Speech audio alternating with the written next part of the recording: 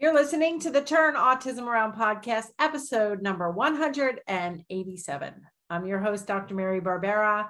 And today we are bringing back a podcast that is one of our most downloaded podcasts. We are approaching 1 million downloads in the next few months. So, um, it's super exciting. And we just started this classic rebroadcast series of our podcast um, to bring back podcast episodes that we refer to a lot, that are very popular. Um, and we also started doing uh, at the same time, I think this is only our third rebroadcast, we also started doing an update or an FAQ um, podcast episode right after it. So for Dr. Murray, we did Dr. Murray's uh, rebroadcast on medications, for instance, and then we did the five top five questions we get on medications. So today we are doing the classic rebroadcast on social and play skills, which is podcast 187. Next week, tune in because we're doing the top five questions we get about social and play skills on 188. So let's get to this episode that was previously aired uh, a few years ago, actually. So we're bringing it back. It's all about social and play skills.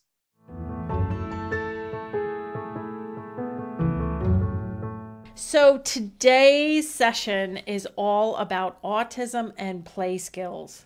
And when we think about autism and play skills, we're talking um, about there's two types of play there's independent play, and those are your leisure activities. And then there's social play, and that is play involving other people. Today, I'm going to focus mostly on that social play component. Um, because we do tend to teach these these things uh, separately and we want our children to be as social as possible and we want them to use language and we want to pair this all up together. So uh, today we are covering mostly that social play component. It's really hard to separate out play versus social versus language and many of my free and paid resources all focus heavily on language. Um, because what I have found is um, it's really hard to build adequate social and play skills without the language to support it. And it's easier and um, it's easier for me to teach parents and professionals how to teach language. And then um, the social and play skills will will be taught in in in sync with that. Um, okay, so as we all know, uh, autism is characteristically diagnosed with a failure to socially communicate, social communication skills, rote repetitive interests are also usually part of the diagnosis. So that play and social piece is largely missing from kids who are diagnosed or showing signs of autism. I am also going to talk about this book that I got. It's published in 1997. I bought it at a conference. I saw the authors present on this book. I think it was 2000. And I bought the book for like 40 bucks. The good news is you can download this book um, for free. And my uh, staff will post the link for that in the comments or in the show notes. Um, so, but stay with me here because this link isn't going anywhere. You're going to be able to download this, and I'm going to cover the pieces of this book that I would highly recommend.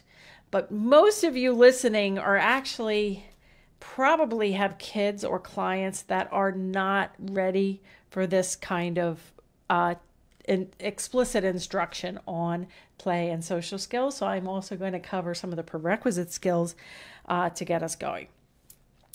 So, as you know, or just found out, I fell into the autism world in 1999 uh, when my son was diagnosed with autism one day before his third birthday. His name is Lucas. He's now 23 years old. And when Lucas was two years old, um, when he was 21 months, my husband first mentioned the possibility of autism, and I shut him down. I told him I never wanted to hear the word again. And we had a second baby right away. So when Lucas was 18 months old, we had Spencer. And so um, Lucas was was warm and cuddly with me. He had some language, but at the time I knew nothing about how to teach language. I had nothing I knew nothing about how to teach play skills. Um, and so we thought maybe Lucas would perk up and start really playing with kids better and start talking more if we enrolled him in a um, toddler preschooler class, which was a two year old preschooler class um, in our neighborhood. And um, Lucas just turned two in July, so the so the class started in September. So there were, you know, newly turned two year olds like Lucas, and then there were two year, th- two and a uh, two and three quarter year olds, almost three years old. There were some kids in there that turned three right in October. So there was a wide range of abilities, and going from a two year old to a three year old, that is an explosive age in terms of play and language. So, um, Lucas had very few words. Like I said, I didn't know how to teach new world words, and I know now he was not diagnosed with autism. And besides, my husband mentioned the possibility of autism. He, we, you know, once, uh, no one was thinking or talking about autism for Lucas. Um, so he would go to this little toddler class, and you know he would wouldn't have a problem separating. Some of the other kids had major separation anxiety. Some of the other kids had major aggression when other kids took their toys. Lucas wouldn't really care if somebody took a toy out of his hand. He would just kind of go to the next toy. Um, he would enjoy the little sing-songy you know, circle time, but if it got too heavy with language, he um, was not attentive. He wasn't rolling around on the floor or running out of the classroom, but it became clear mid year that Lucas was falling behind. And that's when the teacher and the preschool director brought us in, my husband and I, and um, they basically said Lucas was, uh, they used words like in his own world, and he wasn't uh, really participating much. He did like to paint and he did like to do the instruments with the shaking, with the songs that he was familiar with, but uh, there was no. Um, you know, understanding of a lot of language, and they were worried that um, it was time for enrollment for the three year old class, and they were worried about him moving up there.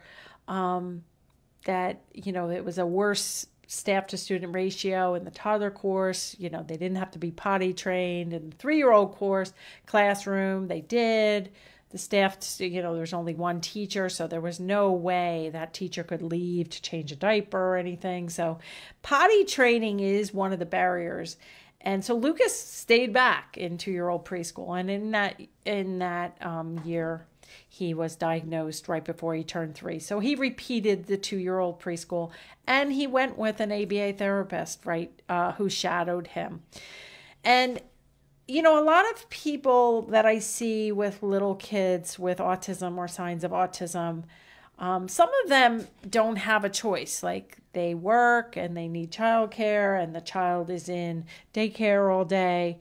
Um, but studies have shown, lots of studies have shown, for many decades that kids with autism really need intensive one on one ABA. And just having a one to one person shadow you around um, and prompt you and make sure you don't hit anybody and make sure you don't roll around on the floor, that's not the kind of instruction kids need. Kids need very systematic instruction on language and play skills and imitation and all those sorts of things. So Lucas did get uh, 40 hours a week of ABA, including these two mornings a week where he continued to go to preschool. And for him, that was uh, a good thing um, because he already knew the routine, he was comfortable with the teacher, and he had an ABA therapist there who would make sure that he, you know, was fairly focused and didn't make a mess with the paint and didn't um, get into any trouble and he continued to progress to the three year old preschool and the four year old preschool, and he went to typically developing preschool. Um, some kids with autism that when they're young they go to special needs preschool which was an option for lucas but we chose to do home aba and this typical preschool opportunity but you know i had some clients who went um, into special needs preschool and and what i found was sometimes the one-to-one you know environment wasn't good there was you know eight kids and and two teachers or three or four teachers and aides, but that's still not a one to one ratio. And so there was very little pull out time. I had one mom of a boy, I'll call him Adam, and he went to special needs preschool, but he was off every Friday. So mom thought just to expose him into a, a typical daycare on Fridays was was going to be a good thing. But when I started with Adam, I observed him at home and in the special needs preschool. And I went to daycare on a Friday and he was in his own world. The kids around him were were just uh, running around, negotiating play. Um, he was in his own world, and at one point, he even he didn't have a one to one when I was there, and even at one point, he started licking the wall, and I had to, of course, get up and stop that. But you know, little Adam didn't make any progress for a whole year in this. Um, and he went from age three to age four, making no progress.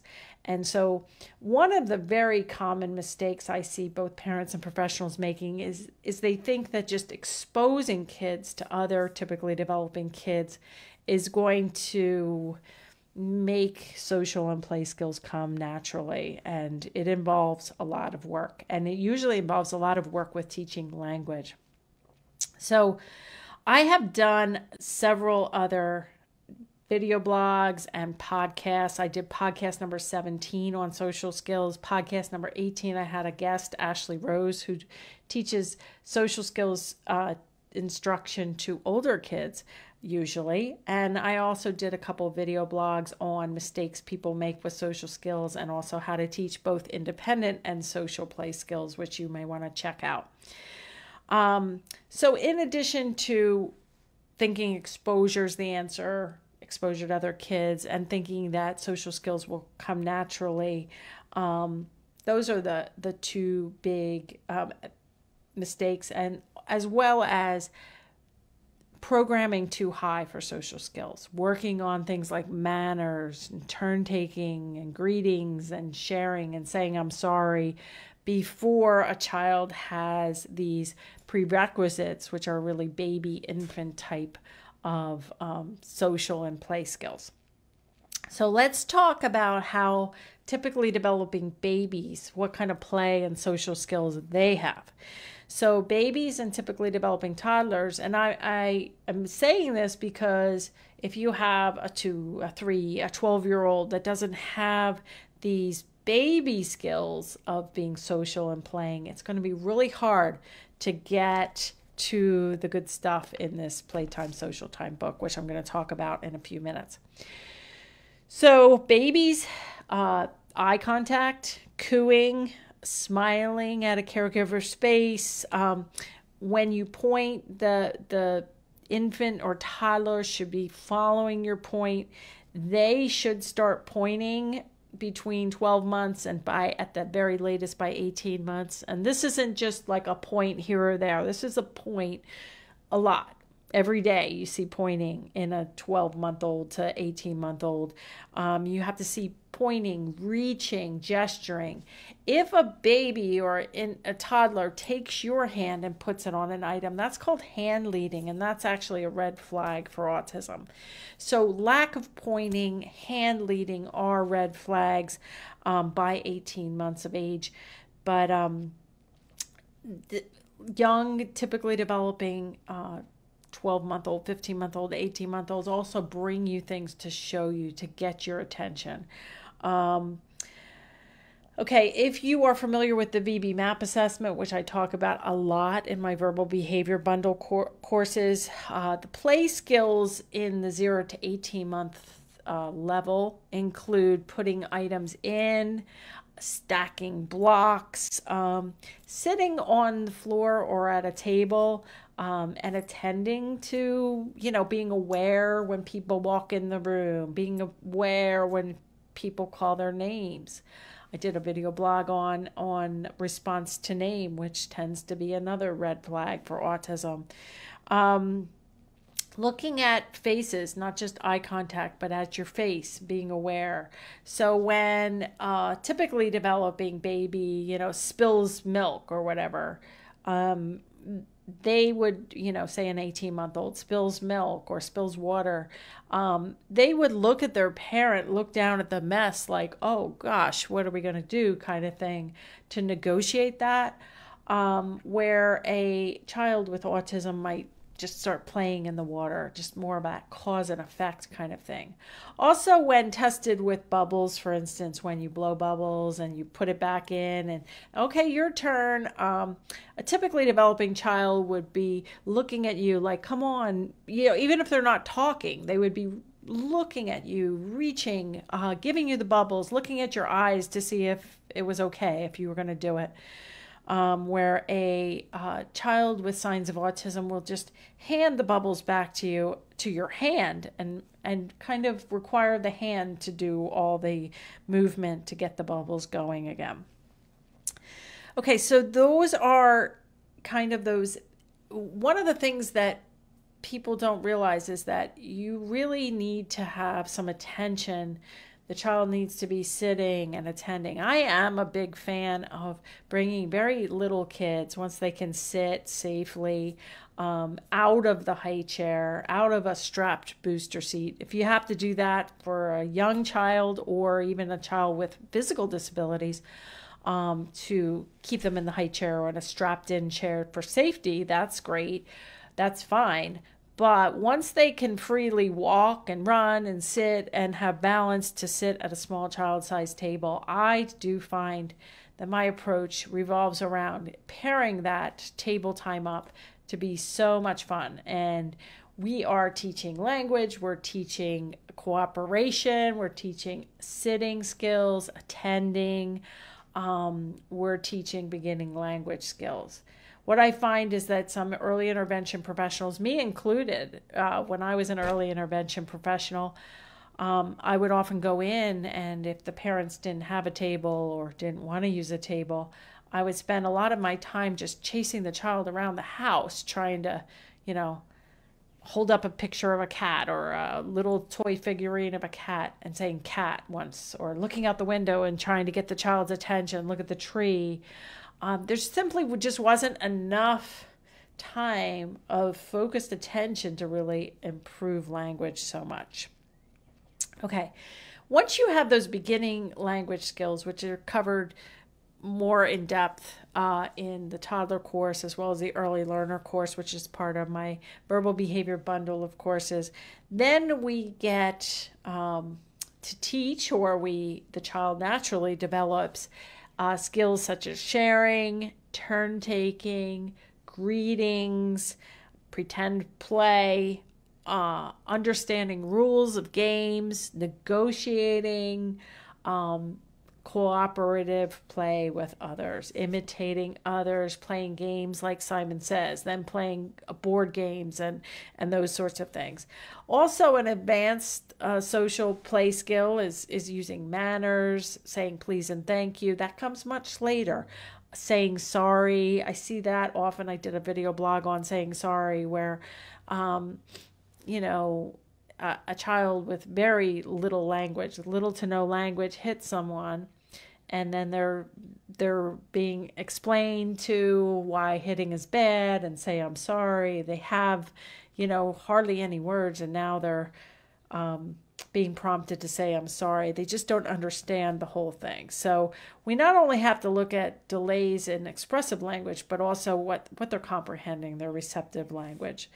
Um, and some families have no choice. They their kids are in daycare all day long, or they are in preschool, or at a caregiver's house all day long. And um, but if you really do want to catch the child up and and get them to their fullest potential, um, they're going to need most likely some serious one to one instruction. Most research shows that kids with a diagnosis of autism need at least 25 hours per week of intensive one to one ABA instruction.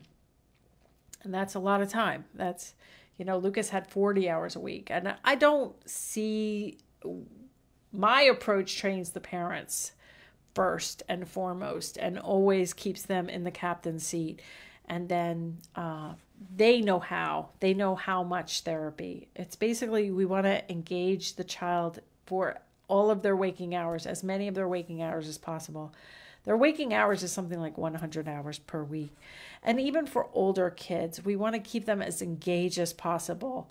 Um, we are in the middle, uh, at the time where I'm recording this, in the middle of the COVID shutdown, um, where parents are, you know, really struggling to keep their kids with autism um, especially their older kids, engage for long periods of time.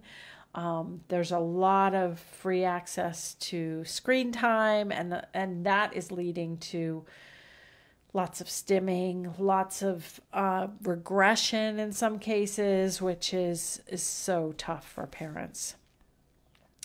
So, um, to get to those higher skills of using manners and being flexible and and uh, using language in the natural environment.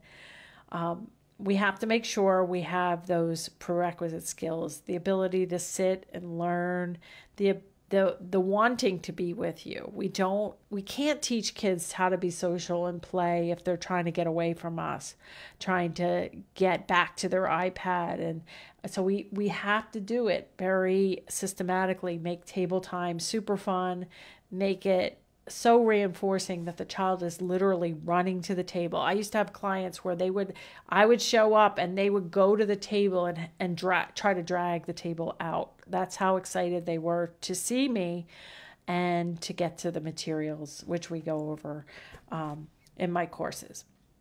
But now let's get to this playtime social time book. As I said in the beginning of the session, this playtime social time book was written in 1997 i paid about $40 for it. I saw the authors present at a conference and what it does is it lays out the importance of teaching play skills and starting on page um, 90 92 um, we start with 20 different activities in this playbook, such as a bean table.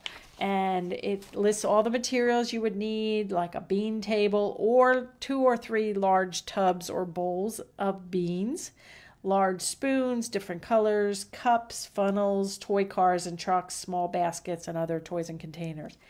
Then it goes down the list, and you could uh, prompt sharing, such as Tommy, hand Susie the big scoop or the blue funnel or those sorts of things. As you can see, these are pretty advanced language ability. So we need to know what big and small are. We need to know colors, which surprisingly gets taught much later than most kids get exposed to colors if they're not picking it up on their own.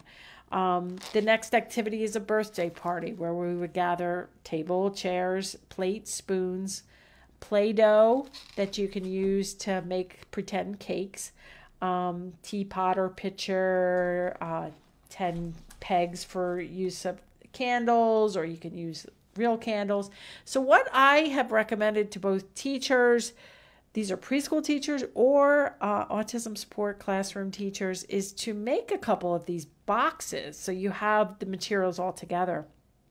So I would have in this birthday party box, I might have the script on top.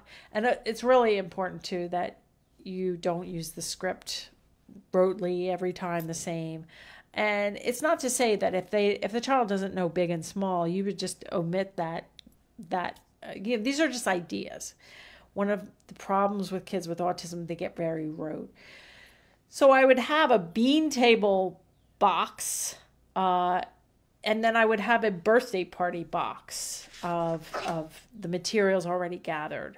And that way we can kind of uh, go through some natural environment teaching, whether that's at the table or on the floor, um, whether that's in a classroom or at home.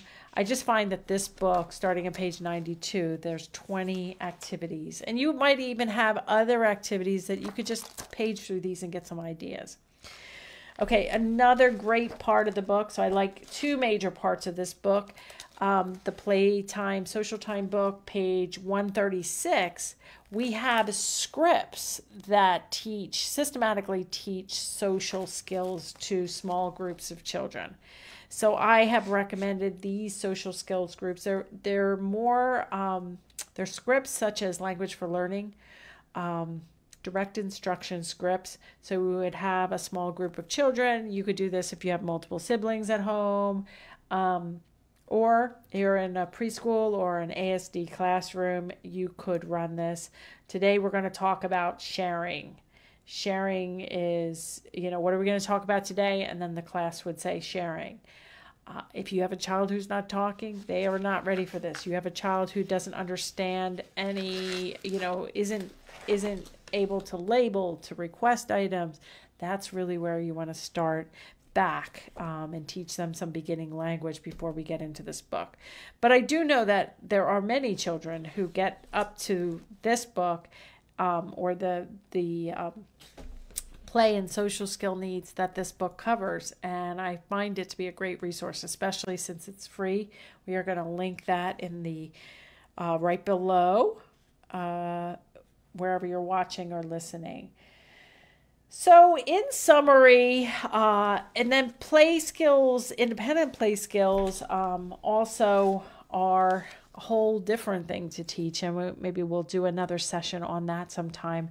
But um, these social skill, play skills for kids with autism are super important to teach. Hopefully, I gave you some good ideas on where to get started and to really look at the language ability of the child and the play and social abilities before we program way too high, before we expect things to come in naturally, and before we expect that just exposure to typically developing kids is gonna is gonna work out well. I have found that if the adult really teaches a child how to play, we can often transfer these skills to playing with other kids, other typically developing kids, or kids with delays or disabilities. Please give a thumbs up, leave a comment, and share it with somebody who might benefit. And for more information about uh, our course and our materials, you can attend a free workshop at marybarbera.com forward slash workshop. And I'll see you right here next week.